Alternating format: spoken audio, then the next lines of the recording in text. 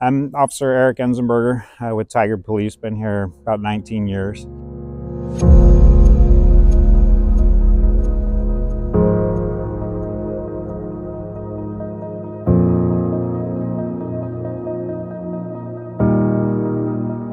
From time to time, we will go out and keep um, sort of uh, pressure on the registered sex offenders that live within Tigard. Um, this time we partnered with the Washington County Sheriff's Office, who um, basically is in the forefront of keeping tabs on the registered sex offenders throughout our county.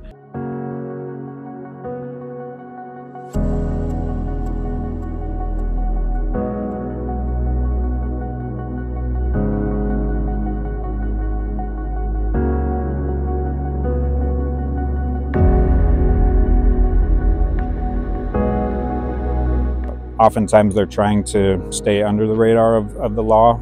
And if we don't follow up, if we're not keeping tabs, uh, if we're not making sure they're in compliance, then we, there's no uh, accountability necessarily as far as their um, registry goes.